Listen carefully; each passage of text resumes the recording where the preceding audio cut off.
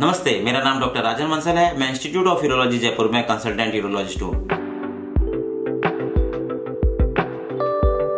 आज मैं आप लोगों से बात करूँगा टेस्टिकुलर एप्सिस के बारे में। टेस्टिकुलर एप्सिस क्या होता है? टेस्टिस के अंदर जब एप्सिस की कैविटी बन जाती है, उसको टेस्टिकुलर एप्सिस बोलते हैं। टेस्टिस मेल के अंदर काफ़ी इंपॉर्टेंट ऑर्गन है, जो कि सेक्स हार्मोन और स्पर्म बनाने का काम करता है। आइए जानते हैं सबसे पहले कि टेस्टिस के अंदर एप्सिस क्यों होता है।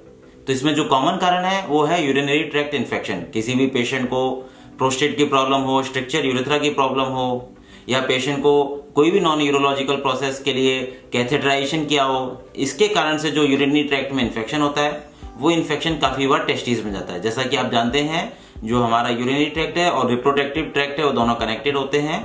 तो यूरिनरी ट्रैक्ट में जो इन्फेक्शन होता है, वो इन्फेक्शन टेस्टिस के अंदर जाता है और इन्फेक्शन समय से डायग्नोज ना हो, या काफ़ी बार प्रॉपर ट्रीटमेंट ना हो तो वो मवाद का रूप या एप्सिस का रूप ले लेता है।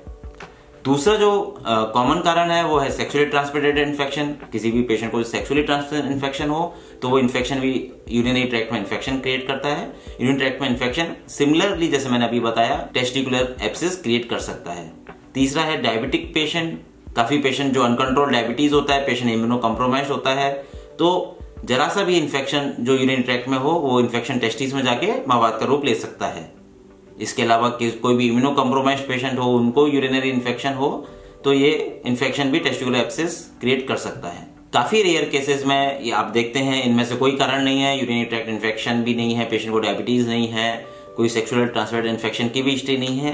तो हम लोगों को जो इम्पोर्टेंट है ट्यूबर को भी दिमाग में रखना चाहिए। काफ़ी बार ट्यूबर बॉडी में कहीं और होता है, वो ब्लड के थ्रू एपिडिडाइमस में एपिडिडाइमस में टेस्टिस से टेस्टिस में इन्फेक्शन क्रिएट करता है और काफ़ी बार मवाद का रूप ले लेता है। तो नेक्स्ट स्टेप है पेशेंट को क्या तकलीफ़ होती है? जब भी टेस्टिकुलर एप्सेस होगा पेशेंट को काफ़ी सीवियर पेन होगा टेस्टिकुलर स्वेलिंग होगी पेशेंट को बुखार होगा पेशेंट को यदि यूरिन ट्रैक्ट इन्फेक्शन के कारण से हुआ है तो यूरिन में जलन होगी यूरिनरी सिम्टम्स भी हो सकते हैं। इसके अलावा पेशेंट को जनरलाइज्ड बॉडी वीकनेस कमज़ोरी महसूस होना, ये सारी तकलीफें भी पेशेंट को हो सकती हैं। जब भी किसी भी पेशेंट को इस तरह की तकलीफ़ हो तो वो उसको अपने नियरेस्ट यूरोलॉजिस्ट को जाके मिलना चाहिए। यूरोलॉजिस्ट से मिलकर वो आपके पहले तकलीफ़ को जान लेता है, आपको बेसिक हिस्ट्री ले लेता है, आपको क्या तकलीफ़ हो रही है वो जान लेता है और आपकी तकलीफ़ के आधार पर कुछ जांचें, पहले फ़िज़िकल एग्जामिनेशन करेंगे वो।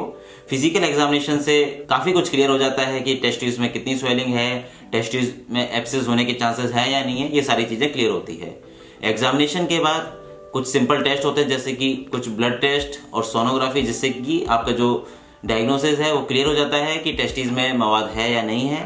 टेस्टिस में मवाद या एक्सेस डायग्नोस होने के बाद इसका जो पहले ट्रीटमेंट रहता है, वो है आईवी एंटीबायोटिक्स काफ़ी अच्छी एंटीबायोटिक्स दे के इन्फेक्शन को कंट्रोल करना होता है एप्सिस को रिजोल्व करने की कोशिश करनी पड़ती है। काफ़ी पेशेंट में आईवी एंटीबायोटिक से एप्सिस रिजोल्व भी हो जाता है। जब ये आईवी एंटीबायोटिक्स के बाद भी एप्सिस रिजोल्व नहीं होता है, या फिर काफ़ी पेशेंट जो प्रॉपर ट्रीटमेंट नहीं लेते हैं, जिनके अंदर जो एप्सिस होता है, वो पूरे टेस्टिस को ही इन्वॉल्व कर लेता है टेस्टिस को डैमेज कर देता है। ऐसे पेशेंट के अंदर हमें टेस्टिस को निकालना भी पड़ता है, इस प्रोसेस को बोलते हैं ऑर्किडेक्टोमी तो आज आपने जाना कि टेस्टिकुलर एप्सिस क्या होता है इसके हो, क्या होने के क्या कारण होते हैं इसके अंदर क्या लक्षण होते हैं इसको कैसे डायग्नोज करेंगे और इसका क्या ट्रीटमेंट रहेगा।